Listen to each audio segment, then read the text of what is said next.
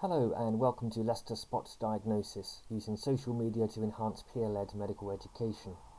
I'd like to uh, comment a little more on a post a few days ago, so I'm going to scroll down and a few days ago I show you this picture here. What is the diagnosis? Here's a brain showing some atrophy in some areas but not in others and suggest what the person's behaviour may have been like before death. Now I had a suggestion of Alzheimer's disease here. So I'd like to show you a brain that has Alzheimer's and you can see how it's different to this brain. Okay, so this was, as we said, Pick's disease, which um, has atrophy particularly of the frontal and some of the temporal lobes. Let me show you Alzheimer's. Here's Alzheimer's. So we can see that there's atrophy of the brain. We can see that by the sulci being widened, the gyri being thinned.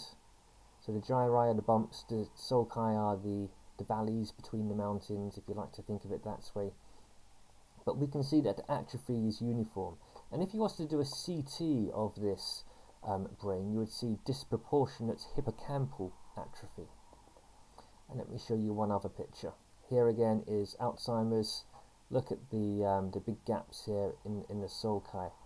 Now I've got another image to compare that to, and this is actually glioblastoma, it's, um, but ignore that, I'm interested in showing you the sulci, uh, the grey matter and the white matter, and the sulci, very narrow, very thin, there's hardly any daylight between them. Take that back to here, lots of daylight between the sulci and the grey matter is thinned. So compare that with this. Non-Alzheimer's, Alzheimer's. Okay, so let's take you back to Leicester Spot Diagnosis.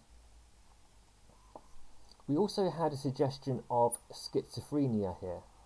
Now, okay, it is actually true that um, in type 2 schizophrenia, this is the type where you generally have the negative symptoms and the insidious onset. There are actually some imaging changes associated with that. And I have this article here, just show you the title. And there has been extensive research into neuroimaging in schizophrenia.